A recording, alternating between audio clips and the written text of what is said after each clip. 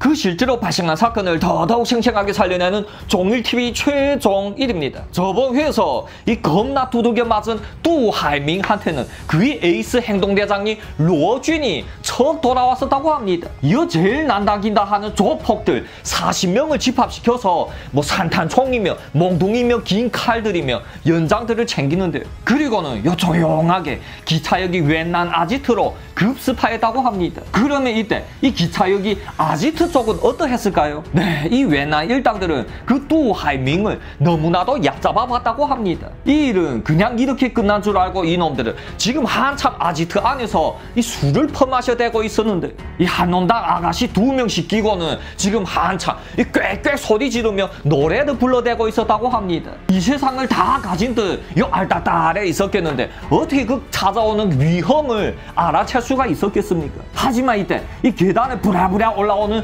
쿵쾅쿵쾅 하는 소리가 나더니 이 급기야는 팡팡팡팡 하고 산탄 총 소리와 함께 이 문이 툭툭툭 하고 뚫리는 게 아니겠습니까? 로준 이놈은 역시 이 싸울 줄 아는 놈이었었는데 단번에 그 적들이 기세를 이 누를 줄 아는 놈이었다고 합니다. 누군가 자신이 문에 대고 다짜고짜 총을 팡팡팡팡 하고 쏘면 어떻겠습니까? 이 제 아무리 배짱이 있고 깡이 있는 놈이라고 할지라도 이 절반을 찔 얼고 들어가겠는데 또한 이 곁에서 끌 어안고 있던 아가씨들은 다들 깍 하고 기겁을 하니까 이 분위기는 더더욱 당황해지겠는데. 하지만 에? 뭐야? 어떤 것들이야? 여기가 어딘 줄 알고 감히 기습질이야 왜 난이 군도를 확 빼들고 이 일어나려 했었는데 네 그 놈들이 산탄총들이 이미 그 자신이 머리에 척 갖다 대고 있는 게 아니겠습니까 산탄총에 맞아서 이 사람이 아무리 안 죽는다고 해도 이 머리통에 딱 갖다 대고 쏘게 되면 그냥 수박처럼 툭 터지겠는데 울어라 이놈들 에? 굴어라 이 들이 닥친 놈들은 이 계속해서 끊임없이 우르르 들어오는데 이 대충 봐도 한 4, 50명은 돼 보였다고 합니다. 이 산탄총을 든 놈들이 대여섯 명이나 되었었고 나머지 놈들은 다들 뭐 몽둥이며 이 긴 칼들을 꽉 잡고 있는데 이 자신들이 아무리 어떻게 날아다닌다 해도 이건 안 되겠죠. 꿀으라고 이놈아. 어? 아이고 걔. 놈들은 그 웬남과 짱준이 다리를 콱콱 내리차면서 구르라고 하는 거였었는데 만약 이때 보통 사람들이었더라면 이 놈들이 구르라고 하기 전에 이미 다리가 풀려서 구를만도 하겠는데 네, 이 놈들은 달랐다고 합니다. 계속해서 꼿꼿하게 서서는 이 도끼 눈으로 째려보는데 구러? 내 인생에 굴는 일은 없다. 너네 배짱 있으면 당장에서 쏴 죽여라 이놈들아. 네, 이만한 깡이 없이 어떻게 그 험하다는 하얼빈에서 강바즈가 될 수 있었겠습니까? 그렇게 40명이서 계속해서 놈들을 콱콱콱 밟아 놓는데 야야 비켜라 하면서 이 뒤에서 누군가 나오는 거였었는데 허추 이것들 봐라. 아가씨들을 끼고 노래를 하면서 아주 신이 났었네. 에? 내는 이 꼬라지로 만들어 놓고 말이다. 놈들 뒤에서 이 익숙한 목소리가 울려 퍼지더니 대가리와 몸통에 이 붕대를 꽁꽁 싸매 뚜하이밍이 처음 나오는 거였었는데 이 뚜하이밍은 혼자서 걷지도 못하고 곁에 부하놈이 부축을 해줘서야 이 겨우 뚜걱뚜걱하며 걸어 나오는데 어디 보자 이 저번날에 내 대가리를 찍었던 놈이 어나야 에? 너지 이놈아 짱준이라고 했던가? 하차 너 이놈이 그렇게 세야 에? 그렇게 세면 이 오늘에도 어떻게 멋있게 이내 대가리를 한 찍어보지 그래니? 에? 왜? 오늘은 못하겠니? 왜나 일당이 이미 코피가 터지고 이 먼지가 팔팔 나게 얻어 터진 걸보 뚜하이밍은 또 그 앞에서 이 흐물넓적대기 시작하는데 하지만 말입니다. 그날에도 했었는데 이 오늘이라고 못할 이유가 또 있겠습니까? 짱주인이 다짜고짜 허리 뒤춤을 만지더니 이 도끼가 확 날아오는 게 아니겠습니까? 네, 요번에 이 두하이밍은 아주 크게 다쳤었는데 글쎄 두하이밍 이놈이 왼쪽 대가통이 이 도끼에 맞아서 조금 부스러져서 이 움푹 파여 들어갔다고 합니다. 말 그대로 저번에 맞았던 곳이 채 아물지도 않았는데 또 찍히니 더더욱 엄중해진 거였었는데 으아 그러자 뚜하이밍은 또 머리통을 부여잡고는 뒤로 털썩 나자 빠졌다고 합니다. 그러게 이 그냥 뒤에서 놈들이 쳐맞는 걸 가만히 구경이나 할 것이지 왜 또 그 앞에 나서서 흐물넓적 거렸을까요? 이 뚜하이밍 이놈은 맞아도 싼 놈인데 하지만 말입니다. 이 자그마한 아지트 안에 이 놈들이 40명이서 꽉 들어차 있는데도 그래도 감히 그들 대가리한테 도끼를 던진다고요? 짱주인 이놈은 이거 이 미친놈일까요? 하지만 이러한 미친 놈들의 생각은 다른데요. 내는 이 도끼질을 해도 터지고 안 해도 터질 텐데 왜 안 하냐고요? 조금이라도 복수를 할 수 있을 때 날려야겠죠. 이 짱주인이 스타트를 떼자 이 웬남과 왕후고 러방스도 발가락 들고 일어나는데 이 다들 각자 무기들을 빼들면서 와 하고 달려들었다고 합니다. 하지만 하지만 말입니다. 갑자기 팡 하는 총소리가 나더니 그 웬남 일당들은 다들 으악 하고 후퇴하는데 네 그것은 바로 로주인이 이 놈들한테 산탄총을 팡 하고 먹인 거라고 합니다. 야 다른 총 하나 더 갖고 와 봐라. 로준이 산탄총은 이 한 방짜리였었으니 곁에 부하한테 넘기고 또 이 새 산탄총을 받아들여서는 찰컹 장전을 하고는 이 대뜸 팡 하고 또 한 방을 먹여댔다고 합니다. 그러면 이 왜나 일당은 죽었을까요? 네, 그 시절이 구식 산탄총은 이 적이 대가리에 딱 대고 쏘지 않은 이상은 죽기 힘들다고 합니다. 그냥 1m, 2m 앞에서 맞게 되면은 그 알갱이들이 이 몸을 파고들어서 겁나 뜨거워지고 아파난다고 하는데 나중에 그러한 알갱이들은 이 빼낼 수 있는 거는 빼내고 못 빼내는 건 그냥 어쩔 수 없이 그냥 놔둔다고 합니다. 그 시절 흑사회 바닥에서 놀았던 건달들 치고 이 누구의 몸속에 산탄총 통 알갱이가 한두 개씩 없었겠습니까? 다들 그냥 어쩔 수 없이 이 평생 동안 품고 다니면서 살아야겠죠. 그리고 술자리에서 또 척 꺼내 보여주면서 에? 내 왕년에 여기 한 방! 여기 한 방! 이러면서 라떼식이 허풍을 늘어놓겠죠. 어떠야? 어? 또 멋있게 한번 해봐라. 로준 이놈은 역시 행동대장을 할 놈인데 이놈이 앞에서 떡하니 앞장서서 이 분위기를 잡으니 그 부하놈들이 기세는 꺾길래야 꺾일 수가 없었다고 합니다. 밟아라. 로준이 명령이 떨어지자 이놈들은 와 하고 달려들어서 또 한바탕 쿵쾅 쿵쾅 하고 밟아놓기 시작하였다고 하는데요. 이 한참 동안 먼지가 펄펄 나게 패버리더니 잠깐만 잠깐만 하고는 잘 관찰하는데 어이 꿀캐 어찌게 그러면 또 웬난이 그 별로 아름답지 않은 가운데 손가락이 턱 올라오는데 아이 되겠다 야 야네를 데려다가 세수 좀 시키고 또 밟아라. 오늘 이놈들이 꿀을 때까지 계속해서 가는 거다. 네, 이 두하이밍이 조직에서 로준이야말로 제일 지독한 놈이었다고 합니다. 그 짱주인 일당을 질질 끌어서 세수대에다가 물을 떠주며 씻으라고 하는데 이 왜나 일당이 대충 뭐 하고 실수하게 하고는 또 패고 시키고 또 패고 시키고 연속 세 번이나 반복했었다고 합니다. 그러다 외나 일당들은 이제 거의 다 죽어가는 거였었는데 하지만 그래도 이놈들은 굴른다는 소리는 없었고 온몸이 말도 안 되게 짓밟혀도 그 눈가리만은 계속해서 도끼를 품고 살아있었다고 합니다. 두하이밍 형님 안 되겠습니다 이놈들.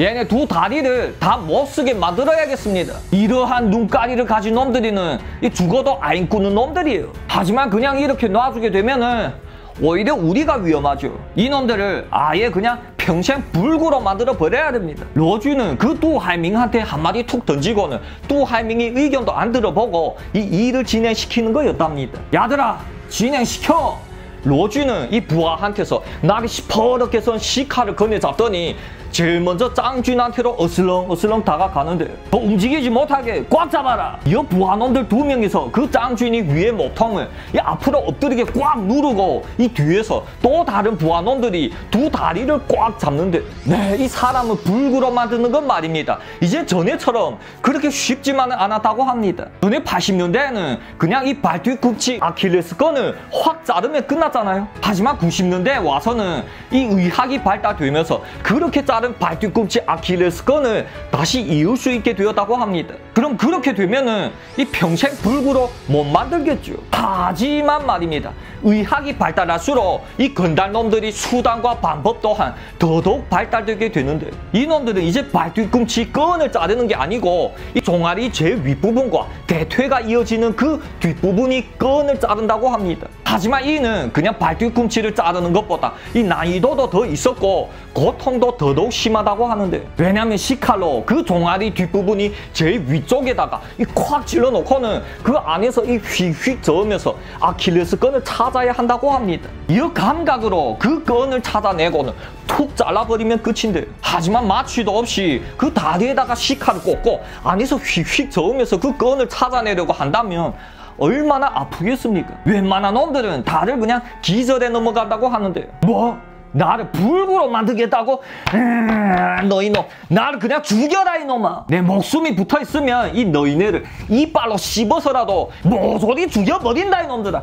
그냥 날 죽여! 네, 하지만 이 조폭들이 왜서 사람을 죽이겠습니까? 망명자들과 조폭들은 이게 완전히 다른데요 조폭놈들은 망명자들에 비해 이 가진 게 많은데 스스로 포기하는 일은 안 하겠죠. 어이 짱쥐나 좀 아플 게다. 참아라. 로쥐는 그 시퍼런 시카를 꽉 거머쥐고는 어슬렁 어슬렁 짱쥐한테로 다가가는데 하지만 이때 이 문 밖에 복도에서 쿵쾅쿵쾅쿵쾅 거리면서 왜 놈들이 우르르 몰려 올라오는 소리가 들리는데 이어땅 하는 권총 소리가 나더니 옌총밍이 떡하니 나타나는 게 아니겠습니까? 그러면 이러한 시기에 이 옌총밍이 어떻게 나타난 거였을까요? 네 사실은 말입니다. 저번 회에서 이 놈들이 도착하는 걸 본 류쌍은 먼저 도망을 쳤었잖아요. 이어 아지트를 빠져나온 류쌍은 대뜸 지프차를 타고 옌총밍이 경찰서로 찾아갔다고 합니다. 그래도 다행인 거는 그날 마침 옌총밍이 이 당직을 서고 있었고 그 경찰서 안에서 TV를 보면서 축구를 구경하고 있었다고 합니다. 이어 류쌍이 얘기를 듣자마자 이 두 말도 필요 없이 권총 홀스터를 차고 이 당직을 서던 10명의 경찰들과 함께 부랴부랴 찾아온 거라고 합니다. 네, 이 자신들이 든든한 돈줄이 지금 끊기게 생겼는데 여부가 있겠습니까? 이어 아지트 문어구에서 이 지키고 있던 두 건달놈을 다짜고짜 제압하고는 또 자기네 경찰 두 명을 남기는데 너네 둘 이 문을 꽉 틀어 막아라 알았나? 나의 명령이 없이 이곳을 빠져나가는 놈이 있으면 당장에서 발포해 쏴 죽여도 된다! 네, 이 옌총밍의 기세는 그야말로 살벌했다는데 이어 계속해서 계단을 타고 이 쿵쾅쿵쾅 올라오더니 다짜고짜 건물 천장에 대고 땅 하고 한 방 날리는데 다들 꼼짝 말라! 내 경찰서장 옌총밍이다 이놈들아 내 경찰이 이렇게 다짜고짜 총을 쏴도 되냐고요? 지금은 안 되겠지만 이 그 시절에는 그냥 막 했었다고 합니다 그러자 로진 측의 놈들은 다들 찔러 얻어서는 이 무기들을 버리고 두 손을 바짝 드는데 그러면 이 왜 전에 처스는 경찰서장을 귓바망이까지 날려도 되는데 이 같은 조폭이란 놈들이 이렇게까지 겁을 먹는 거였을까요? 그 처스가 어떤 계급이고 이두 하이밍이 또 어떠한 계급입니까? 이 둘은 그냥 하늘과 땅 차이가 나겠는데 이 옌초밍이 또 고래고래 소리 지르는 거였답니다 뭐야 이것들이 무리 싸움질이야? 뭐 뭐 나와바리 쟁탈전 뭐 이런 게야? 너희네 조폭놈들 잘 들어라. 이곳 기차역은 이 너희네 피래미들 거가 아니다. 이 지역이 진정한 扛把子는 바로 나 옌총밍이다 이놈들아. 당장 못 꿇게. 옌총밍의 기세는 그야말로 당당했었는데. 네, 하지만 틀린 말은 아니잖아요. 체력이 더 센 조폭 무리들이 나와바리를 차지하는 건 당연한 일이고. 그렇게 보면은 더 이상은 생략하겠습니다. 제가 이러한 아짜아짜 얘기를 하게 되면은 우리 팬분들이 걱정을 많이 하시더라고요. 옌총밍이 큰 소리 한번 땅 하고 치자 이 로진을 비롯해 모든 조폭놈들이 다들 납작 엎드리는데 하지만 말입니다. 그 뚜하이밍만 이 대가리를 부여잡고는 꼿꼿이 서 있는 게 아니겠습니까? 너 혹시 내 누이지 모르니? 내 전에 그 너희 위쪽에 할빈의 공화국에 있었는데 말다. 그리고 이 지금 이 공안국장 서광 국장님과는 이 호형호재하는 사이지. 어, 그래? 그러자 옌총밍이 얼굴 색이 확 바뀌면서 담배 한 대를 불 붙이면서 계속 해보라고 하는데 이놈이 서국장 얘기를 하니 쫄았고 쫄았어. 그러자 두하이밍은 또 더더욱 우쭐해하면서 얘기를 하는 거였다고 합니다. 네 어저께도 그 서국장님과 함께 요 마장놀이도 함께 하고 술도 같이 마시고 떡집도 같이 갔었다. 그러니 예, 알았으면 애들 데리고 먼저 내려가 있어라. 그러면 내 요번 일은 그냥 뭐 눈 감아 주지 뭐. 그러자 옌총밍이 굽신굽신 거리면서 그 두하이밍한테 다가가더니 첫 압수를 하는 게 아니겠습니까? 어쭈 그런 거였어. 그러자 로진도 이 분위기를 슬슬 보더니 대가리를 쳐들면서 툭툭 털면서 일어나는데 이 옌총밍은 또 헤헤거리면서 얘기하는데 아 그러셨군요. 우리 서국장님과 호형호재하는 분이시군요. 그런데 말입니다. 혹시 우리 하얼빈 공항국이 서국장님이 뭘 제일 두려워하는지는 아십니까? 에? 그러자 또 하밍은 멍해지는데 이 인구 천만이나 되는 대도시에서 경찰 교통이 넘버원인데 뭐가 두려울 게 있겠습니까? 하지만 이제 옌총민이 얼굴색이 확 변하면서 조용히 한마디만 하는데 서국장이 이 세상에서 제일 두려워하는 거는 바로 나의 친누나다 이놈아 예? 예? 그, 그러면 네, 이 옌총민은 그 하얼빈 경찰계통 넘버원이 서국장이 하나밖에 없는 처남이었었다고 합니다. 그러자 또 하밍은 이 급급히 꾸르려고 했었지만 또 요 악수를 딱 잡힌 채로 그 귓밤망이를 열대섯 개를 쳐맞았다고 하는데 참이 뚜하이밍은 이 제일 처음에 나왔을 때는 난강 구역이 강바지로 엄청 멋있게 나왔지만 점점 웃기는 놈이죠. 그러게 왜 또 막 나서냐고요. 이 기차역이 자그마한 경찰서는요 전 하얼빈시에서 이 제일 복잡한 구역이었었으니 요 뒷돈 또한 제일 짭짤한 구역이었다고 합니다. 하여 내부와 처남 같은 관계가 아니면 이곳에서 어림도 없었겠는데요 부하이밍은 워낙에 짱쥐한테 또 다시 도끼를 맞아서 지금 피가 줄줄 흘리고 있었는데 또 거기에다가 요 악수에 딱 잡힌 채로 귓밤망이 열대섯 대를 얻어당했다고 합니다. 헐구야 그런 거였어? 그러자 로진도 요 재빠르게 다시 빛이 속도로 납작 기었지만 이미 늦었다고 합니다. 야들아 이놈들 다 끌고 가라. 특히 저 전봇대처럼 기다란 놈. 너 좀 이따가 따로 조용하게 다시 보자. 아이고야. 그러다 로쥐는 한숨을 쉬며 후회하는데 그렇게 놈들을 다 끌어내고 이 옌총밍은 웬난한테 담배 한 대를 건네주는데 웬난아 이 웬만하면 성질 좀 죽이고 살아라. 만약에 말이다. 오늘 내 당직이 아니었더라면 어떡할래? 우리가 진짜 한 발자국이라도 늦게 왔더라면 이 너희네 이미 두 다리를 다 잃었어. 그냥 조용하게 기차역이나 차지하고 에? 요한 달에 몇만 위에씩 따박따박 먹어도 그게 얼마나 좋나. 옌총밍은 진심으로 그 웬난을 걱정해 주고 있는 거였었는데 그 시대의 경찰들 또한 이 피가 끓는 사나이들이었었으니 몇 번 함께 술을 마시면 이 친해지게 되면 동생처럼 봐왔다고 합니다. 그렇게 그들은 다들 병원으로 옮겨졌고 이 치료를 받고 있는데 요번에 웬난 일당은 아주 엄청 심하게 당했다고 합니다. 산탄총에 맞은 건 둘째 치고 이 패고 씻기고 패고 씻기고 대체 얼마나 얻어 터진 거죠? 하에 다들 붕대를 둘둘둘둘 싸매고는 꼼짝달 싹은 못했다고 하는데 그로부터 한 달 뒤 이놈들은 아직 붕대를 못 풀고 있는데 이 문득 병신문이 발칵 열리면서 불청객들이 쳐들어온 게 아니겠습니까? 네 그것은 바로 뚜하이밍 일당이었었는데 그러자 왜나 일당은 이 이도도 못 나고 바짝 긴장을 하는데요 말 그대로 이놈들은 지금 칼도 못 잡는 상황인데 그냥 꼼짝달싹 못하고 당하겠는데요 하지만 하하하하 아그들아 형님이 또 왔다 어? 어찌게 오늘에도 또 멋있게 도끼질 할 수 있겠니? 어? 아니면 또 경찰을 부를 수 있겠니? 어디 니네 마음껏 해봐라 이것들아 네, 이 두 하이밍은 또 조폭들 스무 명을 이끌고 시퍼런 대낮부터 병원으로 쳐들어왔다고 합니다. 참으로 이놈들은 끔찍일 놈들이었었는데 그러면 이러한 상황은 또 어떻게 헤쳐나갈까요? 다음 회에 계속하겠습니다. 재밌게 시청하셨으면 구독과 좋아요 쾅쾅 박아주시고요. 다음 회에 또 짜질!